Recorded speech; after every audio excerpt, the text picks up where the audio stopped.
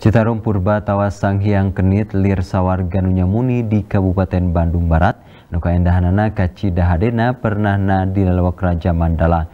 Eta tempat teh di eta tempat teh wisatawan bisa kokojayan di naherangna walungan Citarum Purba. Samala wisatawan ge bisa nyalusur guha anu ngajanggelek disaprak mang juta-juta tahun katompernakeun.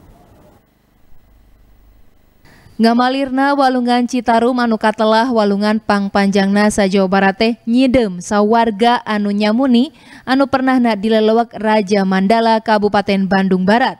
Di eta lelewak wisata teh wisatawan bisa nitenan babatuan anu umurna diirong mang juta-juta tahun katompernakeun.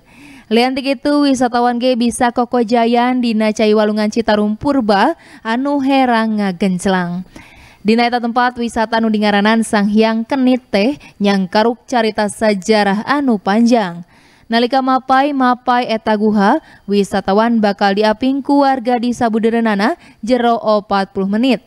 Di jero eta guha, wisatawan disuguhan kaendahan alam anu eksotis serta lalampahan anu ngunyangkeun adrenalin lantaran nyalusur sisi guha anu heureut tur talaleueur. Sokomo wisatawan ge bakal ngaliwatan cai purba anu ngeyembe meh satengah awak anu gesawawa anu masih di papaesan kumang pirang jenis lauk kawas baung jeng gabung.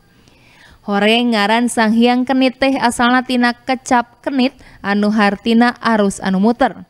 Ayah oge anu nyebutkeun kenit mangrupa ngaran domba anu dipapaesan ku corak beber dina awakna. Eta satu teh dijadikan sesembahan ku karuhun adat tur tadi pencit di eta lalawak anu kiwari jadi salah sahiji destinasi wisata di Kabupaten Bandung Barat. asik sih kalau buat aku gitu soalnya kan adem terus juga kayak apa sih sebenarnya sih? Aku kan sini ada cukup duanya ya. Penasaran sih sama duanya kayak di dalamnya keren. E, seperti yang belum ada yang masuk gitu. Padahal mah udah banyak yang masuk gitu. Jadi masih masih kelihatan perawan banget gitu. Itu uh, di dalamnya seperti apa sih? Maksudnya enggak enggak khawatir atau seperti apa? Enggak aman kok. Cuman batu-batunya aja yang licin hmm, airnya juga jernih tidak berbahaya aliran sungai Citarum Purba ini dialihkan ke terowongan ke PLT baru. Nah, otomatis ini kering.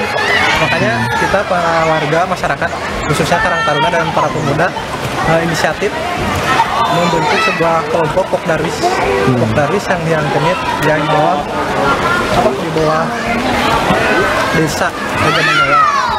Terus yang uh, pribadi yang di Tangga itu apa pemuda-pemuda kampung Cisaung Ari harga tiket asup ke eta lelewek wisata teh 5000 saurangna. Sajeroning kitu pikeun lalampahan ka Guha Purba Citarum butuh waragad 150.000 ka asup diinjeuman helm, pelampung sarta lampu panyaang katut asuransi. Algi Muhammad Gifari, Bandung TV.